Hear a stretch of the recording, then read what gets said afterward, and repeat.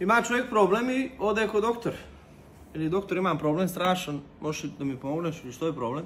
Pa veli, znaš kako, dolje mi je veli problem, meni je veli baš onako velik, ali izrasle su mi ruke na njega. Kako? Pa veli, ruke su mu izrasle. I?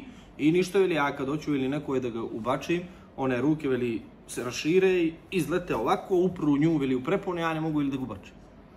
Veli doktor, aj šedi tu seku, ne, uzme ovako, inekciju, bapone ruke su oklembese, a veli sad idi pa mi javi. Ovaj ode, pegla, veli super doktore, ekstra, oklembešane su ruke, veli mogu veli da peglam lagano. Međutim, one ruke ojačale, opet se vratile. Evo ga on opet kod doktora. Doktore, veli, evo ga opet, ništa, veli, pogledaj, kve su jake, tvrde, veli, kao ću gubačimo na ovako.